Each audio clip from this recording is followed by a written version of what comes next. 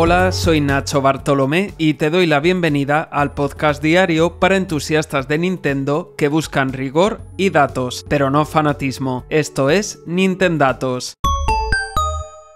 Hoy es martes 18 de abril de 2023 y hoy vamos a colarnos en las oficinas de Nintendo. Vamos a hacer un repaso por los estudios que conforman Nintendo para conocer cómo está estructurada la compañía, porque vemos el logo de Nintendo en muchos juegos, pero eso no significa que los hagan las mismas personas. No es lo mismo el equipo que hace Zelda que el que hace Mario o Splatoon. Así que venga, vamos a colarnos en las oficinas de Nintendo en Kyoto y Tokio. La principal división de desarrollo de Nintendo es la que se conoce como Nintendo Entertainment Planning and Development o Nintendo EPD. Son los principales equipos de desarrollo de Nintendo, los que crean los juegos de las grandes franquicias de la compañía. Nintendo EPD surgió en 2015 tras una reestructuración de la compañía implicó la unión de las dos principales divisiones de investigación y desarrollo de Nintendo, conocidas como Nintendo EAD y SPD. Nintendo EPD tiene como coordinador general a Shinya Takahashi y se divide en diversos grupos de producción y cada grupo se encarga de ciertas franquicias. Los grupos de producción 1 y 2 de Nintendo EPD producen juegos de estudios externos, por ejemplo, Bayonetta 3 con Platinum Games, Kirby y la Tierra Olvidada con HAL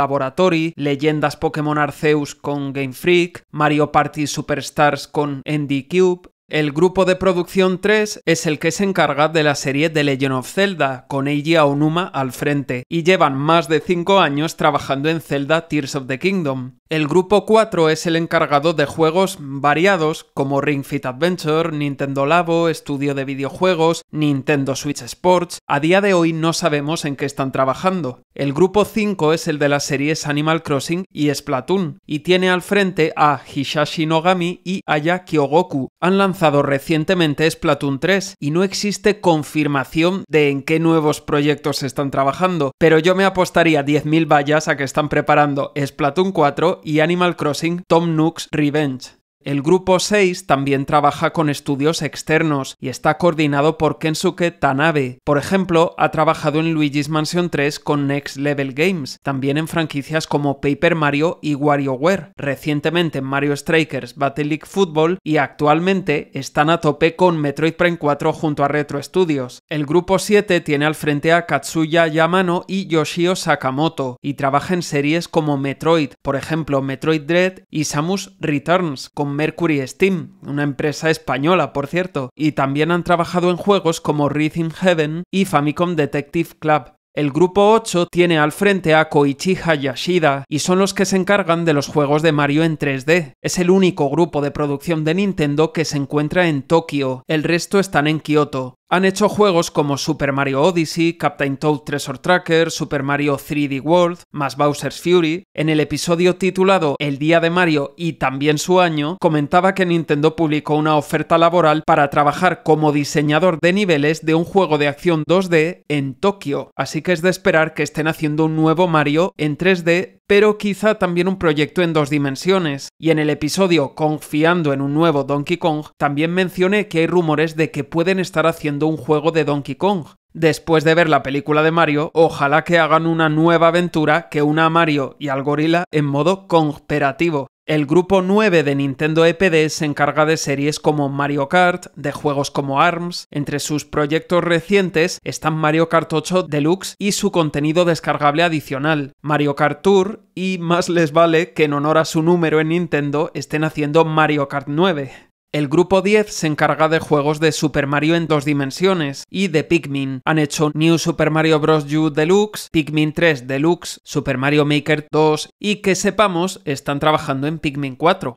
Luego tenemos al grupo de producción de dispositivos inteligentes, con Hideki Kono al frente, que ha trabajado en juegos para teléfonos móviles y tablets, en colaboración con otros estudios, como Dragalia Lost, Doctor Mario World, Mario Kart Tour junto al grupo 9, Estos serían los estudios internos, pero también tenemos empresas subsidiarias de Nintendo, que básicamente son estudios financiados por Nintendo o que directamente los han adquirido. Es el caso de Retro Studios, que están en Texas, en Estados Unidos, son los desarrolladores de Metroid Prime y Donkey Kong Country Returns y Tropical Freeze. Lo que están haciendo ahora es Metroid Prime 4. A ver si lo terminan. También tenemos a Next Level Games, estudio que se encuentra en Vancouver, en Canadá, y que fue adquirido por Nintendo en 2021. Son los responsables de juegos como la serie Mario Strikers, Luigi's Mansion 2 y 3, e imaginamos que están haciendo Luigi's Mansion 4, aunque también estaría bien darles la oportunidad de hacer algo nuevo. Por supuesto tenemos a Monolith Soft, los responsables de la serie Xenoblade Chronicles. En 2007 Nintendo se hizo con la mayor parte de acciones de Monolith y desde entonces desarrollan en exclusiva para Nintendo. Tienen oficinas en Tokio y Kyoto. Monolith no solo trabaja en los Xenoblade, que no es poco, sino que colaboran con Nintendo en desarrollos como el de Zelda Breath of the Wild o Tears of the Kingdom.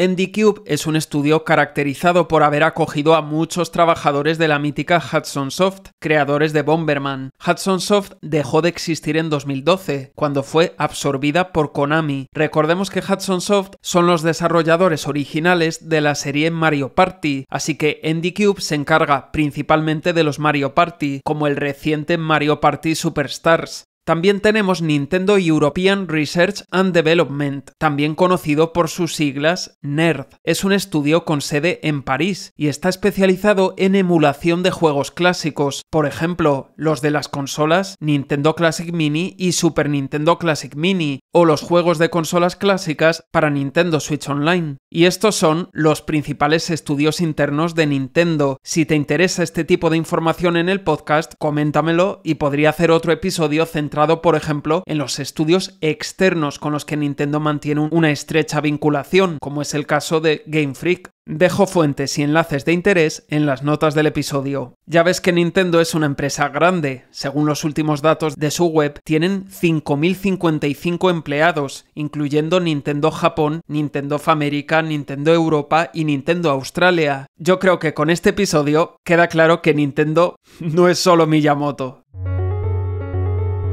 Y terminamos por hoy. Puedes hacer cualquier comentario, pregunta o sugerencia enviando un email a contacto o a través de Twitter arroba nintendatos o si lo prefieres en mi cuenta personal arroba Nacho Bartolomé. Gracias por acompañarme. Mañana más Nintendatos.